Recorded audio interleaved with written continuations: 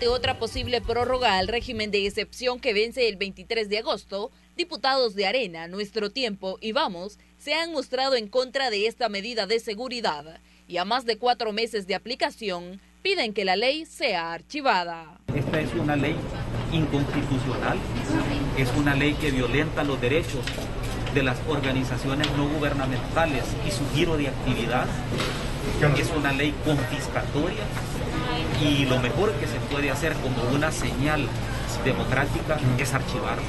Los parlamentarios no comparten la metodología con la que el Ejecutivo está utilizando este régimen y consideran que no dará resultados a largo plazo por lo que no estarían dando sus votos para que elementos de seguridad sigan trabajando bajo esta medida. Yo creo que aquí lo único que se quiere vender es los resultados, la efectividad y eh, el cómo eh, también importa.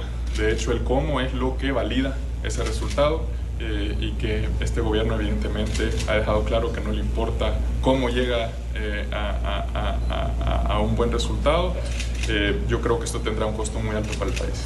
Creo que es gravísimo seguir reiterando y seguir ratificando una medida de política pública como este régimen de excepción que no está siendo efectivo para tener una solución en el largo plazo para la seguridad ciudadana. Se está llevando a encuentro a gente inocente. A la fecha, las autoridades correspondientes aún no han llegado a la Asamblea Legislativa a presentar esta nueva solicitud, pero se espera que lo hagan en las próximas semanas pues han señalado que es una de las acciones más efectivas para luchar contra las pandillas. Este es un informe de Rocío Cruz para Noticiero Hechos.